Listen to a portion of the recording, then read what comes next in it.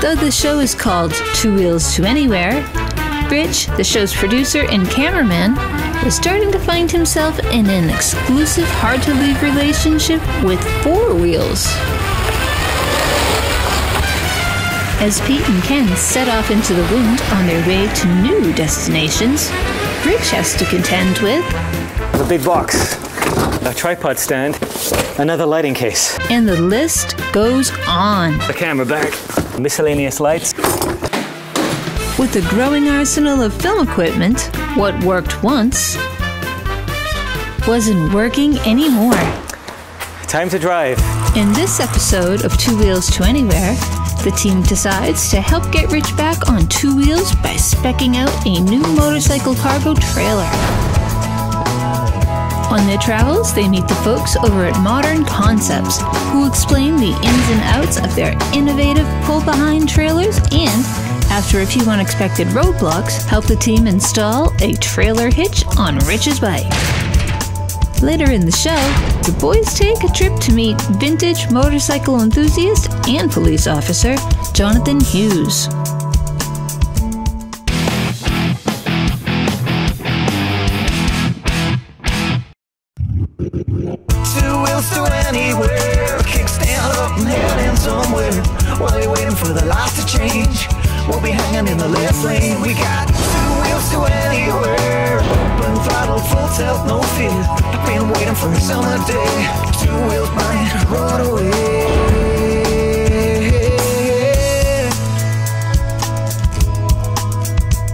As the boys arrive in Wilmington, Massachusetts, home of Modern Concepts Trailers, they meet with owner Mike Russo and operations manager Rick George.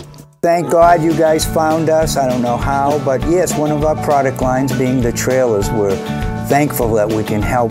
Brick and Mike show Pete the new trailer and explain its features. Hi, it's Pete from Two Wheels to Anywhere, and in this episode, we are in trailer heaven.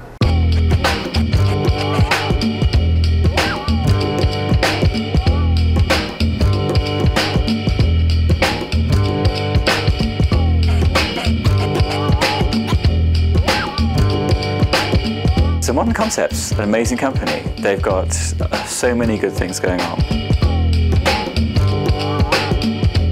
I got Mickey, The owner of Modern Concepts, great guy Michael Russo, Pete decided to call him Mickey for some bizarre reason. I got Brick, and they're going to take us through a trailer delight, a paradise of trailers where dreams can be made true. There's a good reason. Somebody told me his name was Mickey. We have a couple different trailers you can see, but this is our the white version. It's a white gel coat. So this is basically how they come out. Okay. Um, Right. This is just sort of your starter color or your finish color. Um, this one is actually a Honda Goldwing trailer, so we'll do different tail lights for you, modify them, whatever you need for different vehicles. And a good solid seal so it stays dry and waterproof where you get from point A to point B. It's all over the film, Mickey. Hi, Mickey. How you doing? Mickey's a great name. Right. It's a birthday. I mean, not everyone gets two birthdays unless you're an avatar.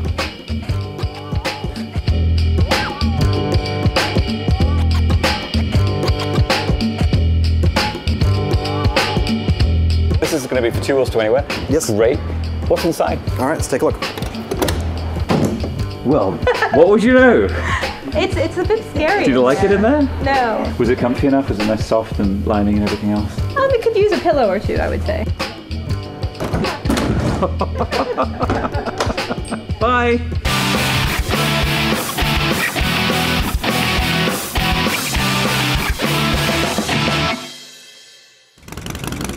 You got a bumper. That one actually was right you know, back into the frame Okay. on the trailer. We'll close it up and I'll show you the suspension.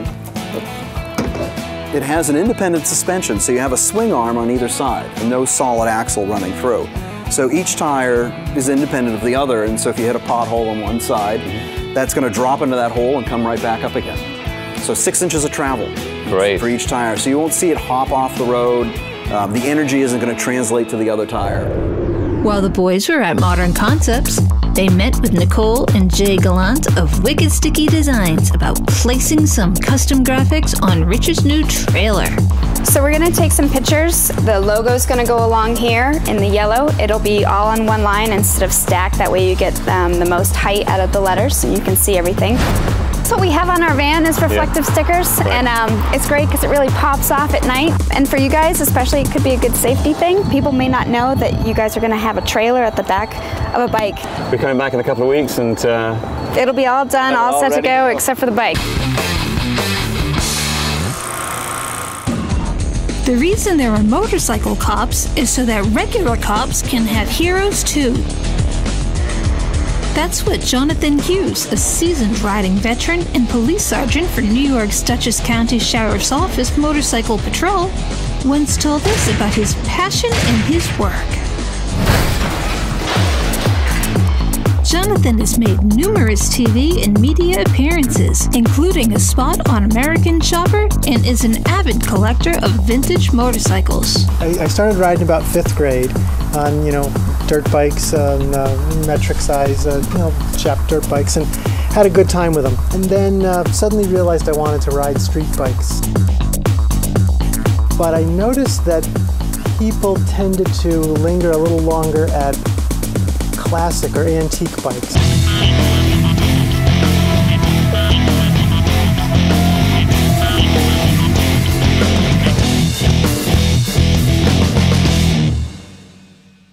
it's Pete Akbar from Two Wheels to Anywhere, and here we are in Poughkeepsie, in New York.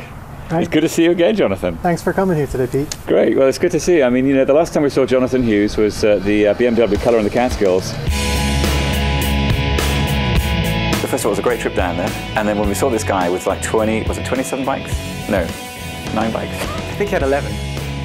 11 bikes. It's just a lot of bikes. And with a love of antique machines and cars and things, I said, antique motorcycle. And I just blindly went out and I bought one.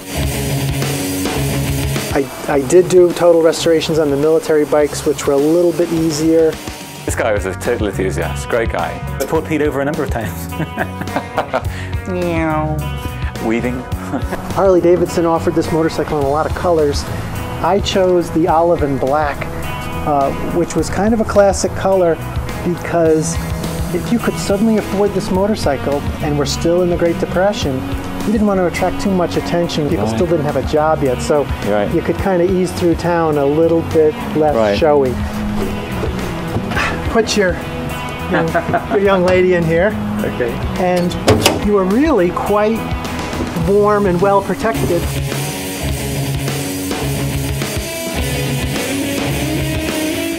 If, if we move over to here, essentially this is the same motorcycle, 1934 Right. Harley Davidson police motorcycle. Coming up after the break, the boys install a trailer hitch on Rich's bike. But things don't go quite as planned.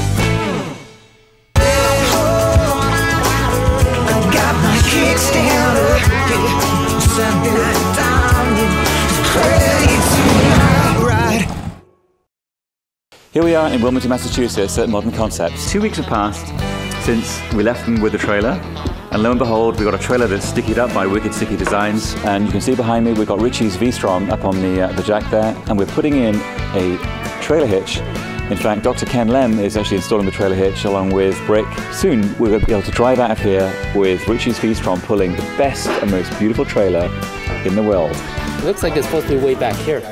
Yeah, see that, see that makes it, 'cause good. gotta, you gotta remember we gotta clear the tire. Is there a problem going on? Trying to figure out where this bracket goes. There's no mounting hose on the back side of this bike. There's a mounting point in the back, basically for this plate. So this should come up and mount up underneath the bike, just like that. But what we're seeing is just, really just your fender guard, the plastic fender guard underneath.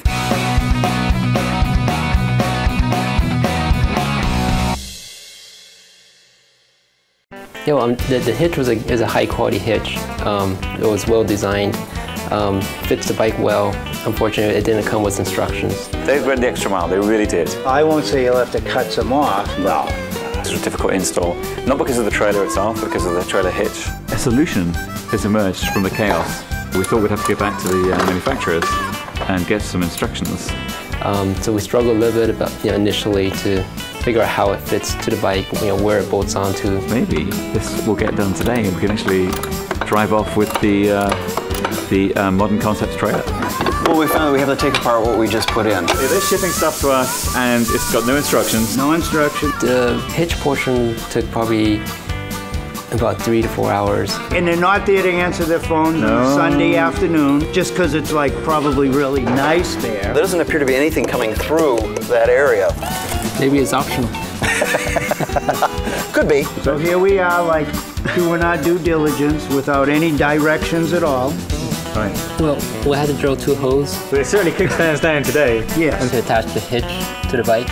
We need to take this tail piece off so that we can have access to the wiring, connect our trailer harness. Here we are in the middle of the operation, and there's some serious things going on. You know that something's happened when the milk crates appear. Aren't you guys done yet? What's the problem? I would have had this ripped apart a long time ago. Yeah, you're right, Mike. It's, There's a little bit of guesswork because we're not sure if, it's, the two brackets are going to meet up. we were just as desperate to get this trailer ready so that Rich could come with us. We'll just muddle through, as the English would say, and, and, and we'll get through this.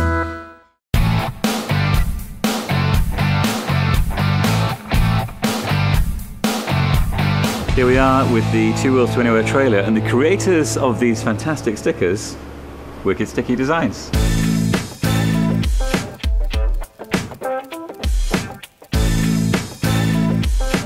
Yeah, it was a little bit of a challenge just because we had this raised panel here on the uh, on the lock area. Wicked Sticky. We wanted uh, a company name that was going to kind of let you know where we were from, and, and Wicked is very Boston. We use a little elbow grease to get the remaining adhesive off. We're at the, the final stages of Rich's bike. The hitch is still in process, but the uh, the Wicked Sticky guys are here peeling off Rich's beloved Suzuki V-Strom stickers, and they're going to replace it with the Two Wheels to Anywhere logo.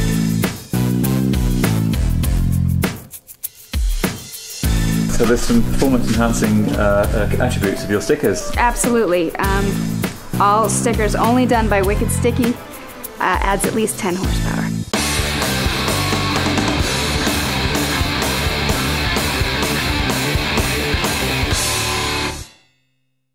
Modern Concepts owner Mike Russo was keen to show the boys one of his new toys, which is being used for marketing and promotional purposes.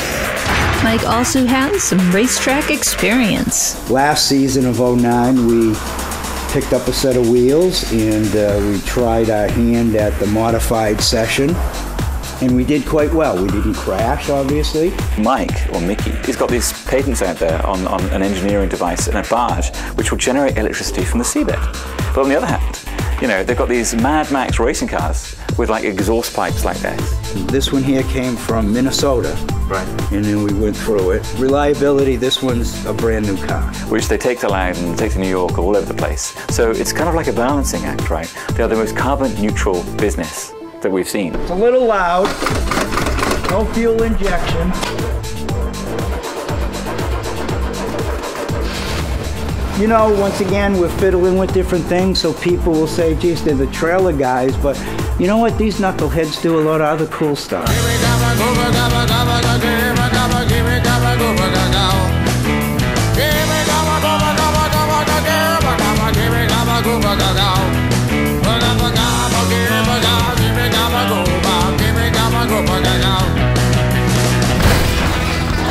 After the break, we continue our vintage motorcycle segment with Jonathan Hughes.